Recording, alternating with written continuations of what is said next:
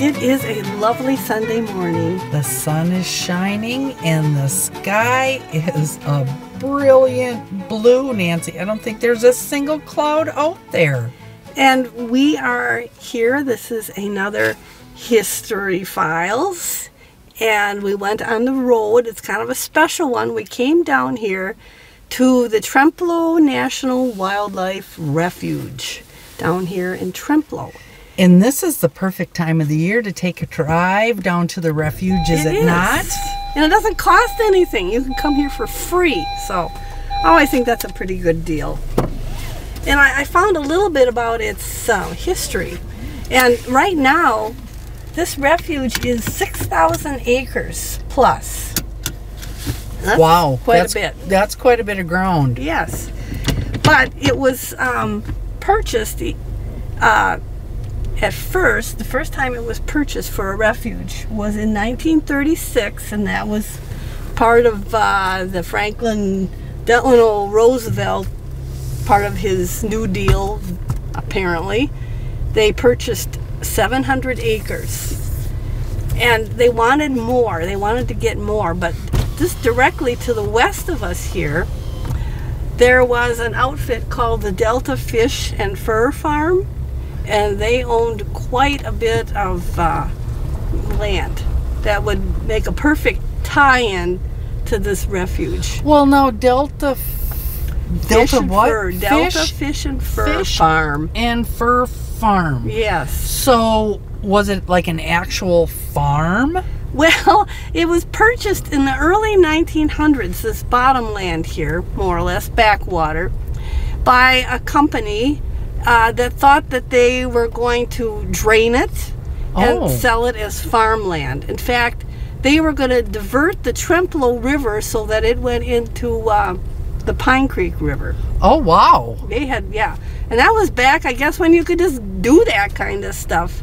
No rules. Yeah, and if they would have done that, I think that it would have totally changed the ecology down here, and Trempealeau Mountain would probably not have been there anymore. Wow. And they were going to do this big drainage project. However, it didn't work. And I shouldn't say however, I should say thank goodness it didn't work. Well, why didn't it work? Um, well, they really didn't know what they were doing, I guess. They're trying to drain how many acres of wetland? Of backwater, yeah. I mean, water if you protection zone. if you drain all that, then where does the water go when you have a flood? well, and see, that is one of the things I think we're learning, unfortunately and very painfully. Um, as our weather seems to have gotten pretty wonky, and there's a lot of flooding going on, and it's it's got to have a place to go. Flooding is, is nothing new either. No, At no. least not down here. You know, the Mississippi is a big river, and when you look at the drainage area for the Mississippi, it's huge. It's millions of acres. You know, There's a few gallons of water that Yes, come cruising down. Are it is it is it's huge. It's a huge drainage area. That's a lot of water. So what happened was eventually um, the the fish the fish and fur farm they did uh, sell some acreage and they sold it to um, the Dairyland Power Company. Oh, okay. But then they maneuvered a swamp. They swapped the what the acreage that they the fish and fur farm had tried to drain uh, for another piece of land in the Upper Mississippi River National Wildlife and Fish Refuge because Okay. they wanted a rail loop to Alma, the power plant. Oh. And so that was what happened. And so the refuge here got considerably bigger after that swap was made. And do you think that was a good swap? I mean, was it a good trade off? I mean, this it made this much area or this area a lot bigger. It did, yeah, I guess it happened, and I can't say one way or another. I'm sure it had, you know, bad points and, and, good, And points. yeah. But now, now uh, there's like 6,200 acres plus down here, And it said 16% of it is just bottomland and, and woods. Okay. And 50% is marsh or backwater, you know, however you want to label it. And then the remainder of it, and that's not too much, there are, you know, remnant oak savanna, Oh, okay. and that's only like 0.02%, and they'd like to have more. And then grasslands, you know, where they've tried to do some some prairie, dry prairie. okay. Okay. And uh, what happened to Mary was in 1965 there was a major flood of the Mississippi, and I, I can remember that as a kid. It was a big one 65. in 1965, and it really tore up a lot of things. Uh, especially there had been some dikes built out there from where the uh, the Delta Fish and Fur Farm had been, and it just really changed the, the lay of the land and you know some of the ecology. So uh, that was a, that was a big big influence on this refuge. So um, we're just lucky that that the initial scheme to drain all this wetland and divert the Trempealeau River, uh, we're very happy that was a failure. Let's put it that way. Yeah, it definitely would have changed this down here, wouldn't it have? It would, and I believe this this portion that we're going through now. I think at one time this land had been farmed. Okay, well, I suppose it's a little bit higher. We did come up kind of a little bit of a hill Yeah. here.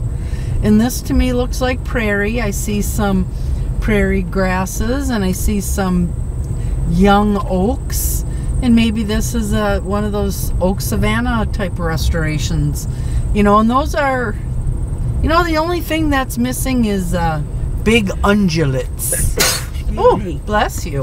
Ungulants? You Uh, mean ungulates. you mean like ungulates? Excuse me. buffalo and and Buffalo. large animals that chew? elk. Yes, Elk, buffalo. I bet you there's whitetails down here, though, huh? I'm sure. Well, whitetails seem to be everywhere. Yep, I'm sure. But this is a refuge, so a lot of the animals that are uh, taking refuge here, I guess you could say, would be like waterfowl and reptiles, you know, things like turtles and whatever. Turtle, turtle. Yep. Turtle, turtle. Okay, now we're we are just tearing down the road here. It looks to me that like they're trying to get rid of some of this uh, black locust that is pretty invasive. Black locust is a, you know, it's one of those, they're learning more and more about some of these shrubby kind of species. Yeah. These early successional species. They're colonies, Nancy. They're colonies. Oh, They- they're they're with their roots interlocking and everything. Yeah, right? it's Yeah. like one, one, you know, the quaking aspen. yeah. They're one tree, but there's valleys full of them, but it's all one organism. Isn't that crazy? Now, Mary, if you look over here to your right, do you see that little house type thing over there with the green roof? Okay, you're gonna have to stop in a spot. Here, I gotta get oh. people went by me there. They didn't throw anything at us, so I guess we're okay. Can you see it there? Well, you gotta give me a second. Stop. Well, I'm trying to get where I'm not in front of a tree. Just let me move up here a little. Okay, how's that? Okay, better. Okay, now we gotta zoom in on it. We shouldn't have our viewing audience listen to us bicker. stop, go, stop, go. Well, it's Go. part of the process, folks. It's all part of the process. Okay, we have a little hut. Yes, well, it's actually up on legs, and what it is is a uh, bat house, a big bat house. And I think it was built as a project by, I think it was, um, it was either a scouting group or, or some kind of a group like that. And it is where the bats hang out. And at least once a year, there are people that come down here and sit near that bat house. And then uh, in the evening, when the bats come out, you know, start flying around, they they sit there and they count them. So they're oh, trying to get an idea about bat population. Well, bat population's been struggling lately. Well, they've certainly taken some hits. Yeah, they have. Yep. and it's, it's all part of the whole connected deal. It's like the trees and the bats and the Birds, birds and the and butterflies. the bees. Yes, they are the insects. Okay. No, that's not a very good one. What I'm looking for is a very, very pretty, um, maybe right up here, What is it? What are you looking for, Mary? milkweed. Oh, milkweed. Okay. Right here. These are good ones. Okay, right in here, maybe. Right in here. Perfect. Perfect. Perfect. Perfect. Now, I don't want Mary to just run off into the field because then I can't find her. So promise you stick around, Mary.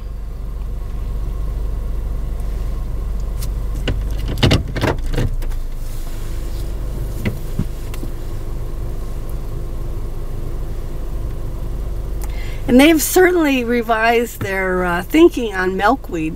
That for such a long time they were saying that it was a terrible plant and it should be eradicated.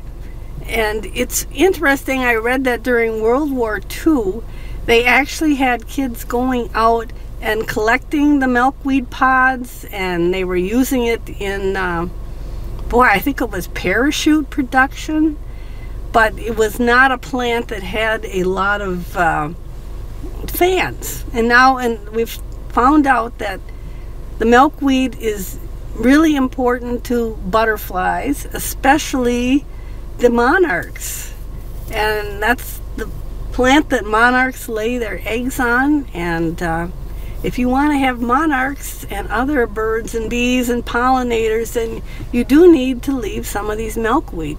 And they really are quite pretty when they bloom. They have a, a pretty bloom and you can smell it.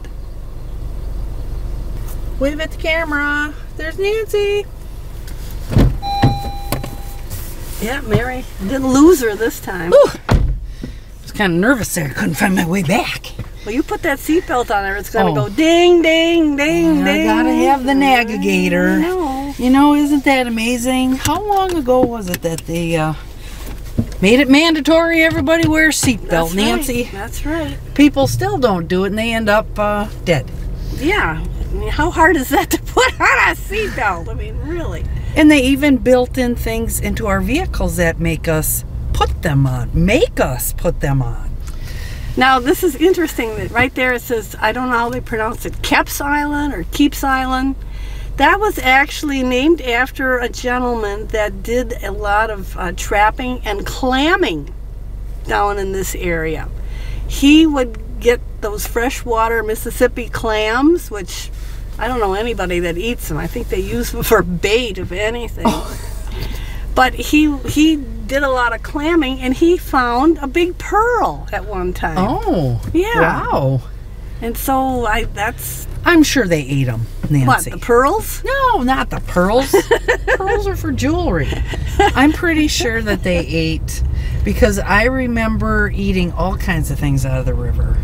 Clam, but the Mississippi clams aren't noted for being good to eat. Well, but when you're hungry and you Oh, don't have a quick mart, Oh, I suppose. you know, I suppose. And you know, we're going to give a shout out to the folks who maintain this property. Yes. So, yay, U.S. Fish and Wildlife Yep. folks. yep, Uh, that's we- a lot of work, and they do a wonderful job. And, you know, managing a habitat can be pretty challenging. So, you know, go, uh, go U.S. Fish and Wildlife, go. Yep. You do a good job. Yep, it is. And we have even a learning center down here, which Yeah. is really, really cool. Yep, I've been to a couple of uh, meetings that they've had there where they did talks on, you know, prairie and, and stuff. It was a lovely, lovely place to have a meeting. So now we are going to go and we are going to the observation deck. Oh, So that sounds official. Yep, we are going to look at some wildlife, hopefully. Like, I was going to say, what are we going to observe? well, I'm thinking like duck. So Mary and I, we're all cameraed up here. Well, let's go see what they've got here.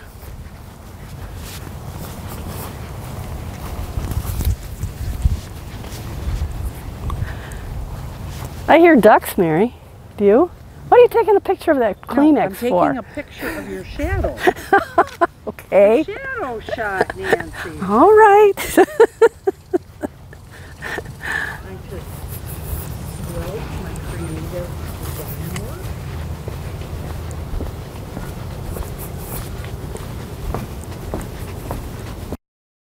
He's trying to squelch my creative design work. are you talking to yourself again? I am. All Hi there, how are you? Oh, we're good this morning. Such a beautiful day. Isn't it?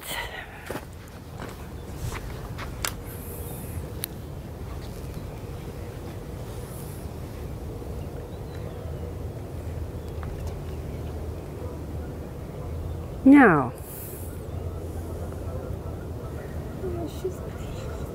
Gadgets people have.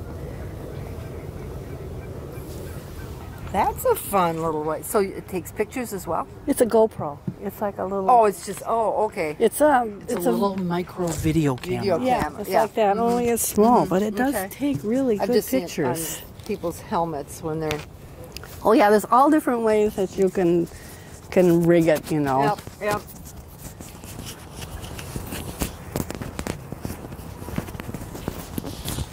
So what do you see out there, Mary? Well, I tell you, only because the gentleman over there can identify a lot more than I. Yeah. So we have swans and pelicans. We have mallards, gadwall, pintails, harrier, eagle, egret. Okay, I got a few of these. Ring-billed gulls and northern shovelers. Northern what? Shovelers? Shovelers. Shovelers. Hi, how are you? And what's a northern shoveler? Uh, well, I actually looked at these books and it didn't really tell me too much. It's a, Oh, okay. there's a picture right there. Oh, All You got a big bill. yep. Oh, a northern think of it. shoveler. Okay. Except for, yeah. Huh. Two types of ducks you will find poking they're around. that Green and cinnamon and white, but they, they have a black head now, you said, because Yeah, it's not not breeding. breeding season. Yeah. Wow. So, yeah. We're getting our scope so we could. Oh. can't see. Yeah. Where are you from? Here. Well, I see ducks right out here. There's a lot of ducks. And that, um, thanks to him, I, I have more specific names for them rather than my generic ducks. Oh, well, that's okay.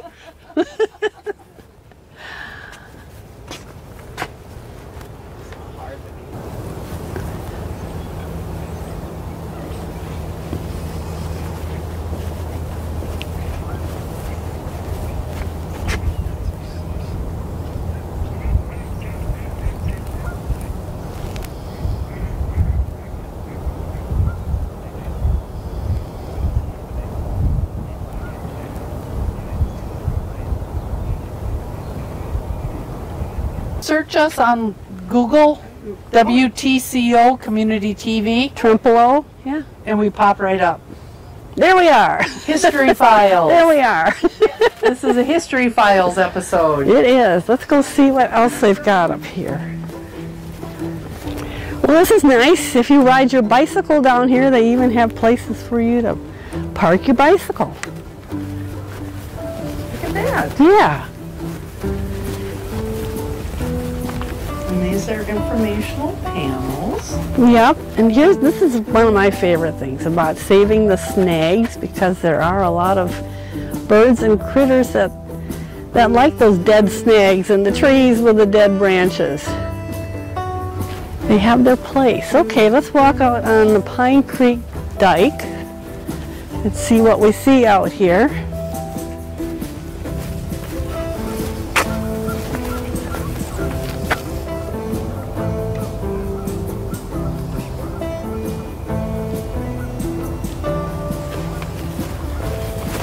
I don't want to lose Mary here in the in the woods. She might be trying to get one of those special shots, and the next thing you know, she's walking into a a bog or something. If I disappear, I was Yeah. last seen with Nancy. Oh yeah, it's my responsibility.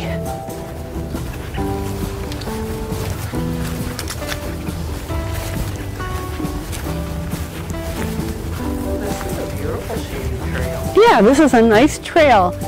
Like you say, it's shady so that even if it wasn't such a nice day, even if it was a hot day, you could come down here and really have a nice hike. And it's flat, you're not going to have to go up a bunch of hills. Oh, there they're talking about poison ivy. Friend or foe?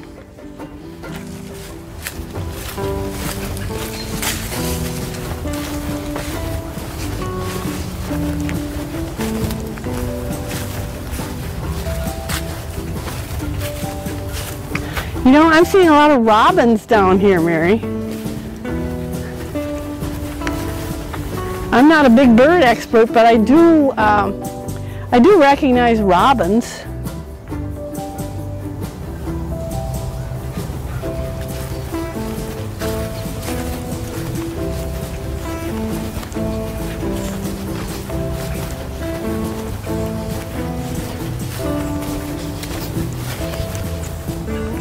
Mary, here's one of those snags that they're talking about.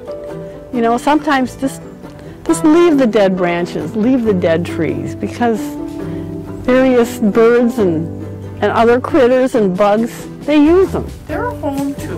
Yeah, it's important. When I visited my son in Germany, and, and Germany has some beautiful forests, and they have beautiful tri- uh, you know, hiking trails. People get out there and, and really uh, use it. But their woods were always so clean. I mean, they had little piles of branches where it looked like people had gone around and picked up any, you know, branches that had fallen off a tree and put them in nice, neat little piles, which um, I thought, well, that's that's really neat. It's nice to have people that like things really perfectly clean Tidy. and tidy, but you do need that.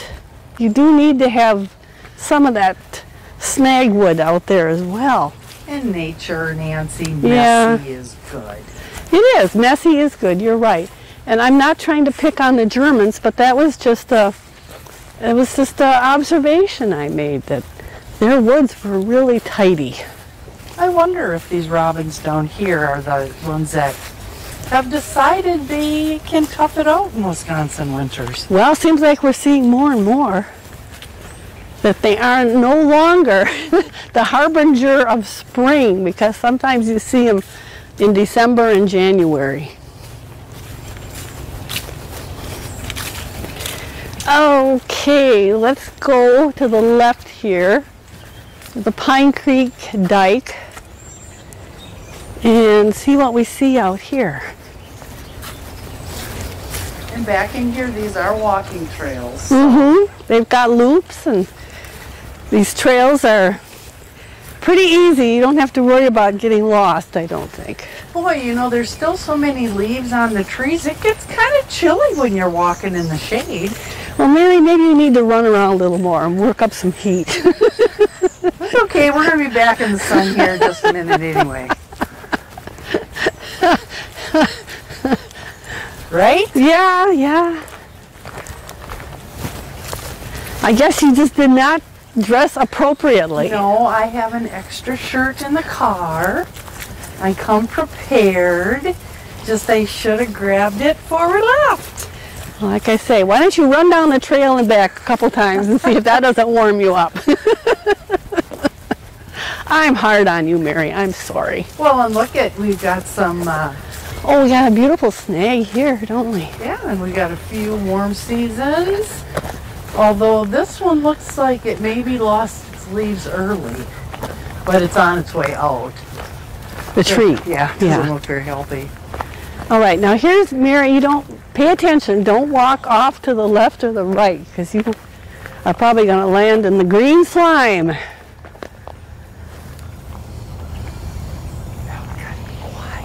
Gotta be quiet.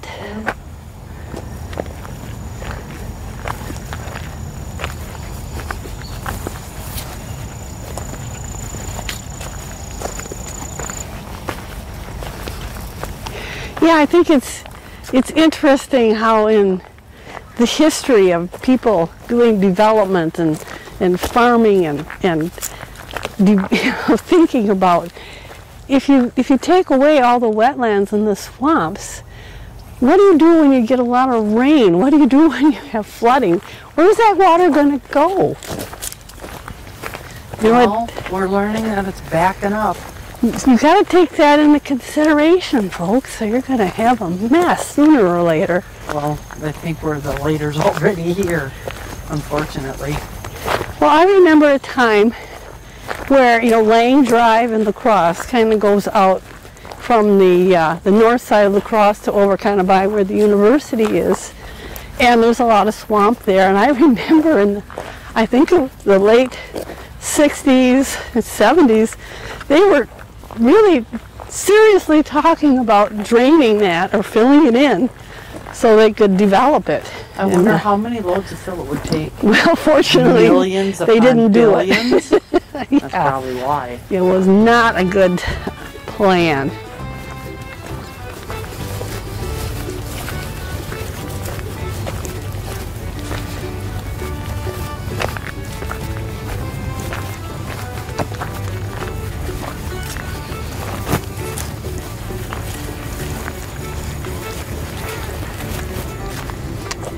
And I suppose, I, I suppose that uh, we're not going to see any turtles. It's probably too chilly. I'm wondering.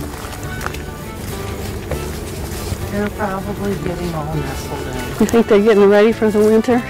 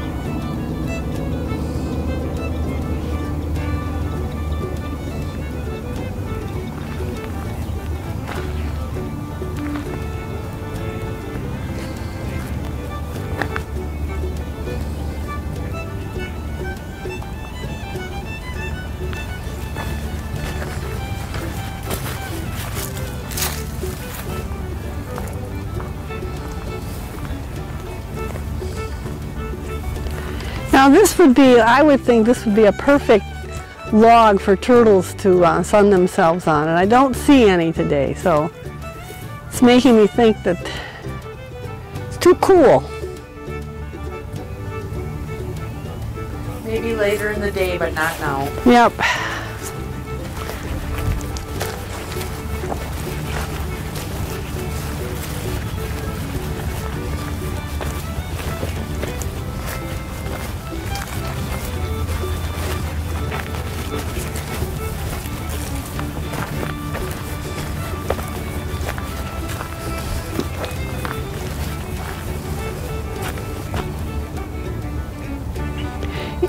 I've got a friend out in Massachusetts, and he's only about 10 minutes away from the ocean. And uh, I said, you know, I'm probably, we're here where we are, we're probably about as far away from the ocean as you can get in the United States. But I sent him a couple pictures of the Mississippi. And he was just blown away. He had no idea what a big river it was, you know. You I don't think there's anything in, in Massachusetts that's anything like the Mississippi. It is a big river because we're looking out right now and this is not the main channel. The main channel is over there, I think, behind the trees. These are just the backwaters, more or less. Huge.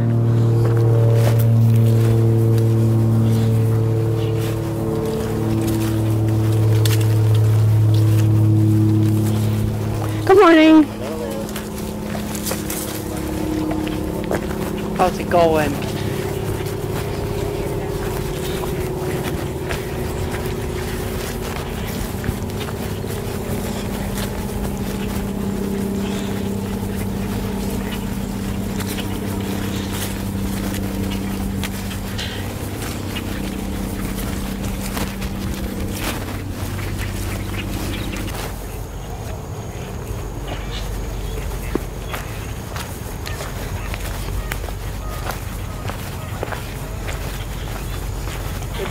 Aren't cooperating for me. The ducks aren't cooperating? No, I can't zoom in enough to get them. Oh, rotten ducks anyway, huh? So if you see little white dots, those are swans. Oh, yeah, the tundra Right. swans, yeah. And then there's, if you see little black dots moving, because I, I turned this mic on. If you see little black dots moving around, those are ducks.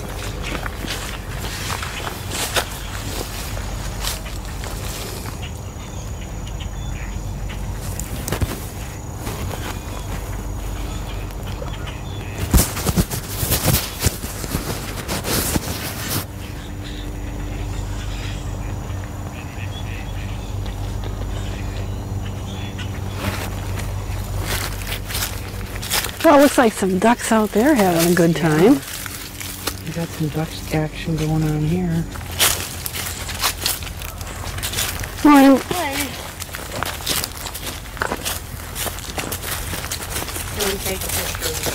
Oh okay, very social. Even I get to go for a walk in the park. Yes, in the reserve, because I'm such a good puppy. Yes, here we go. What a beautiful day for a walk. Thank you.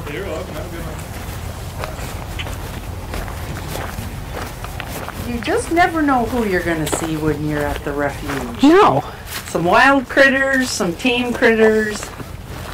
He was very happy to get to go for a walk. Yeah, well, I can imagine all the wonderful smells out here. Oh yeah. What kind of a big white wading bird?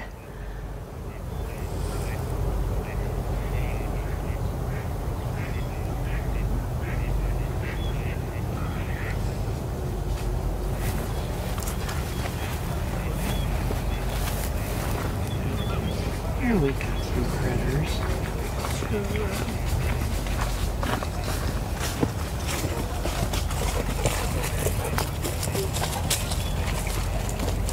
And they're just standing there, and I'm out.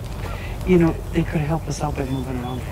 Well, I imagine they're looking for something to eat, and the idea is to stand still, right? Not tromp around.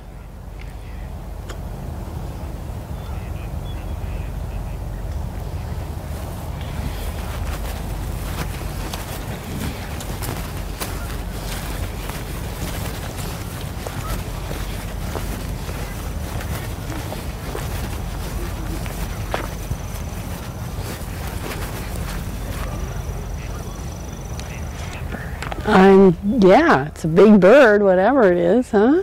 Is it a pelican? I think so. You can hear all kinds of things here. You hear geese and ducks and it's fairly noisy down here today.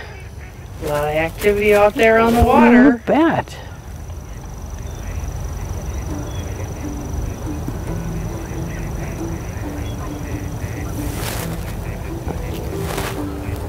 Teaming with critters that are going to make a long trek someplace warmer. Yeah, they're not going to stick around too much longer, probably.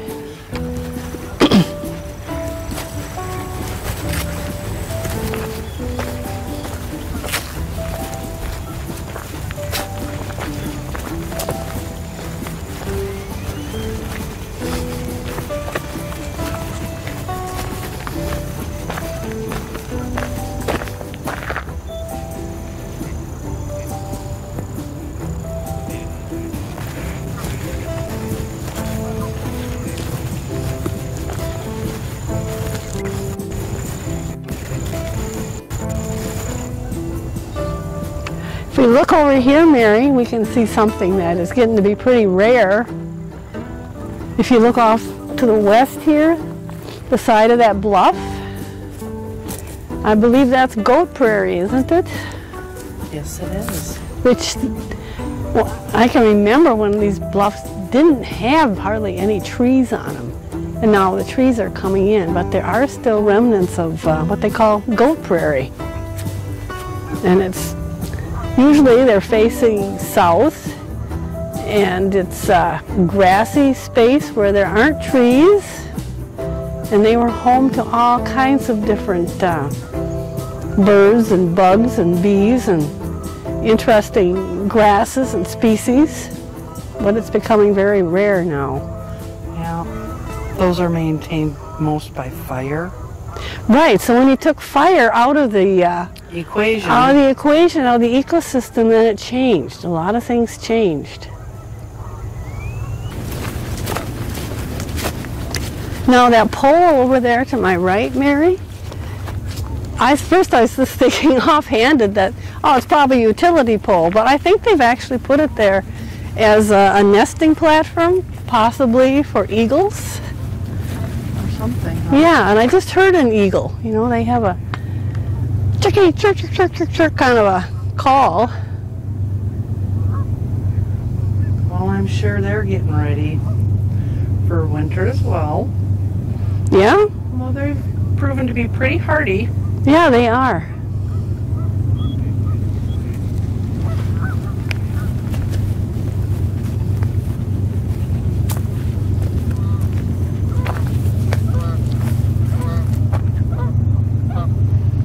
Oh, nice landing, huh? Did you see that?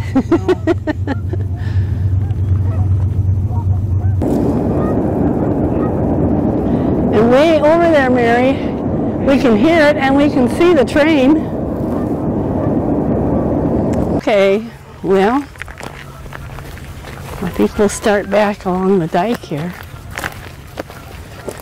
This is a nice leisurely walk. This is a beautiful walk. I was down Look here. at this.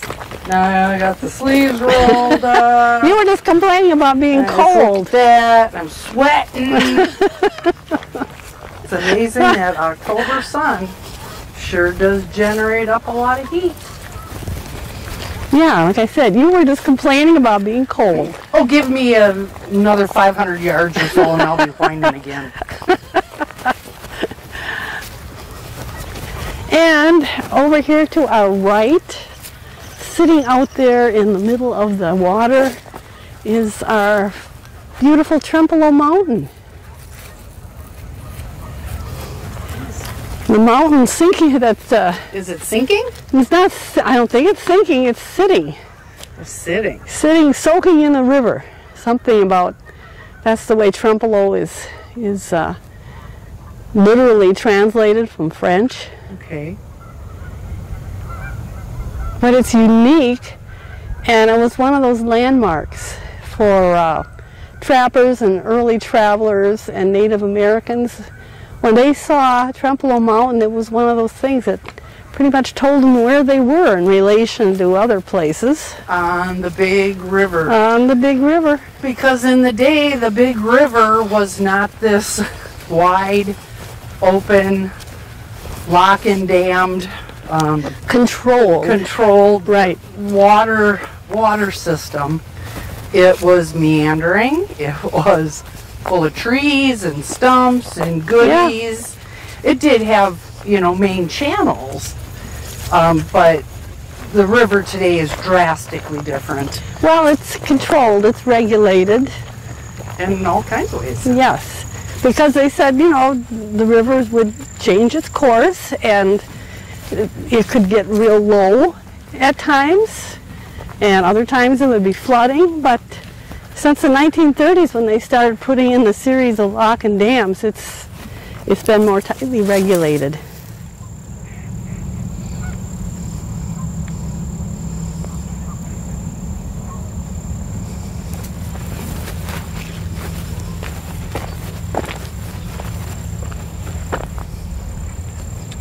So as we're out here in our beautiful refuge, we should just be so thankful that that that whole plan to drain this and farm it and develop it, that that never really worked out.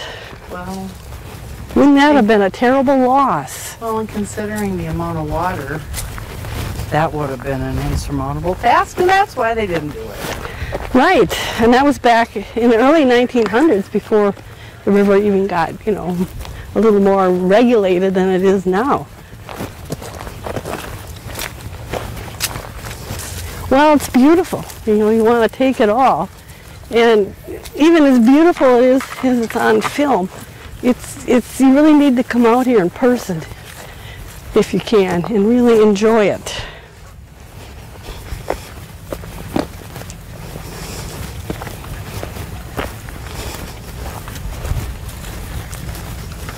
You know, gotta take them shots when I can get them.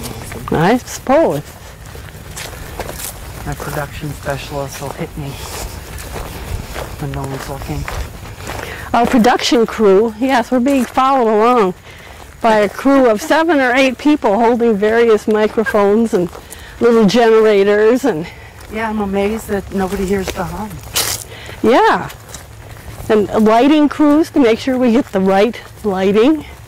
And then of course we have our makeup crew that darts in every couple minutes to make sure that we're at our best. They have their own band. Yes, we don't. Uh,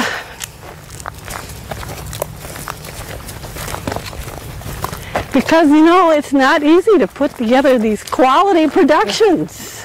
My goodness, And a duck is laughing at the duck is laughing at us. Yeah, Oh, what this it looks sounds like, like. a trail down for somebody to come down to this little water pocket, get a drink, right? I guess lay around. trail. See, I spy things like that, Nancy. Deer trail or muskrat trail or all kinds of critters live out here. And there was a picture on Facebook that uh, a friend of mine took just yesterday, and they were out on their kayaks, and they had a picture of a beaver down here. Oh, okay. And beavers are, they are the most amazing engineers.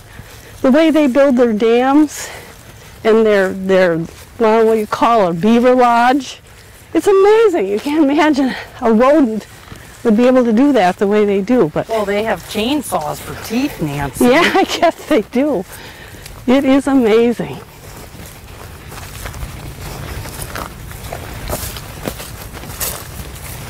You know, they were just about wiped out because Well, their They were- are beautiful. they were considered fashionable. People made them into hats.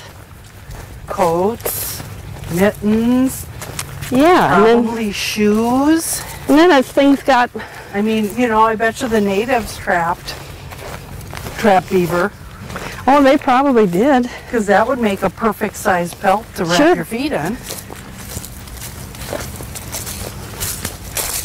But back before the the white settlers came to this country, they talked about, and beavers still do, how they make their their dams, and when they back up the water, that creates some places it creates like what they call a water meadow, Yeah. and that was very important to wildlife. It gave them a place to drink, and it was a uh, you know a source for water birds and bugs and things to live. Well, and then they controlled they controlled the tree species. Yeah. They ate Right. them. Well, I don't know if they eat them. them. They cut them down. Well, they cut them down, but they have to perpetually keep chewing or their teeth grow. right. And right. so they were like America's first lumberjacks, yes. you know. You bet. managing the managing the trees that were and most of the times those dams they needed you know they needed to float the bigger trees the little ones they could drag Yeah. the big ones they had to uh, work a little harder with and having a lot of water plus protection and the lodges never have only one entrance Oh, that's right. Like I say, they plan ahead. Apparently, they're good engineers. They're good builders. and then when they're done harvesting the trees they move to another spot They said what actually causes a beaver to want to make a dam is the sound of running water. Does it hurt their ears? It's a good thing my dog isn't along because she'd Oh, probably be oh, Zip would be in green she'd be in the green slime. heaven. Oh yeah. Now, aren't you glad we came out and did this today? I am. and that you didn't go right down to the to the basement and start stacking wood. Well, tis that time of the year too. And you know, you wait for an excuse, like a rain day. And when, yeah, we haven't had very many, have we? Well, it's been pretty few and far between. I know. And when we don't have rain days, Which way did we go? it's okay. This way, yeah. See, we're already lost. Not quite. Not quite. With our superior navigational skills, Nancy Bergman leaves us safely from the jungles of the refuge. So you think Dun, if dun, we dun, really did get lost down here, do you think they'd send out someone looking for us? Um, Or would they just called us the uh, the Nancy and Mary Memorial Trail? So, if you get an opportunity, while the weather's still nice, hopefully, hop in your car, take a drive down to the uh, Wildlife Refuge. By all means. It's beautiful. Like I say, doesn't cost anything. Boy, what a deal. And the ducks will be doing their thing for quite a while. Yep, and you can see the, the geese and the tundra swans, and wader birds, the pelicans, The paddle duck, the whole package. they've got viewing things out there. Bring your binocs and enjoy the day.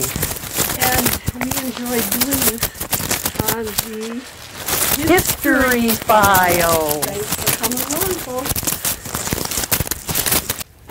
All right. Common yellow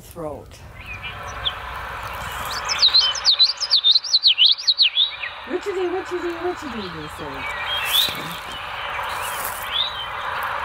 All right, now it's chickadees.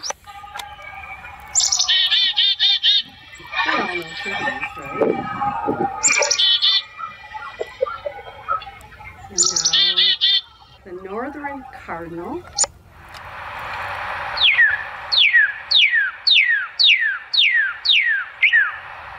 That's another one everybody should know. Definitely. And the eastern cone.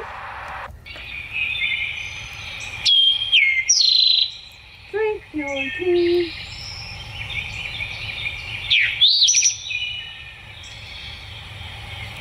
And the, the gray catbird. Sounds like a baby crying. Meow, meow, meow. And then the last thing, this is on Riley's recommendation, is the Baltimore Oriole.